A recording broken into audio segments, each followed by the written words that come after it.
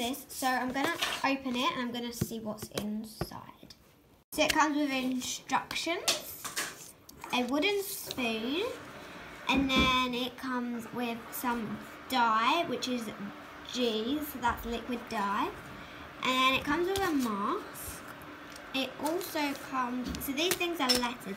So A is sodium laurate sulfate. C is starch.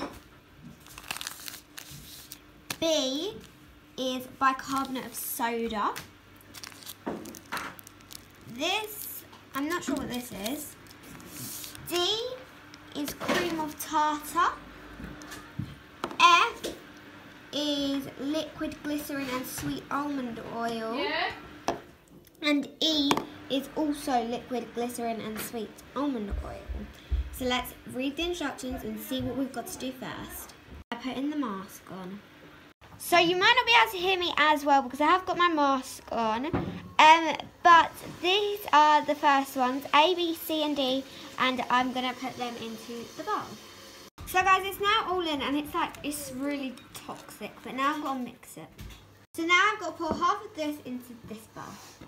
These ridiculous gloves. Um, but it says add blend E to one bowl and stir thoroughly to combine the to combine. The texture of the mix may seem dry initially, but keep stirring and it will start to pull, hold together. Put on the gloves provided and use your hands to combine the mixture until it holds together to form a ball. You may need to add a few drops of water to help the mixture stick together, but be careful as adding too much water may cause it to start reacting. The mixture should not be wet. So I'm going to start by pouring this in.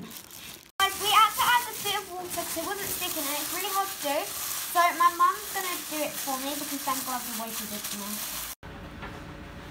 So now this one's done, we've now got to add blend F and blend G to this one. So now this is what you've got to do and the white mixture is under here and now I've got to, got to I've got to roll it out. Guys, the white one is done, so now my mum's doing the pink one. So once they're both flattened out, you then put them on top of each other. And now I'm going to roll the tin foil, but it's going to be hard to film, so I'm going to do it off camera. So guys, once it's like this, you're meant to cut it into two. But we're going to wait until it's hardened because it's a bit crumbly. But yeah, bye guys. Hope you enjoyed the video. Bye. Like and subscribe.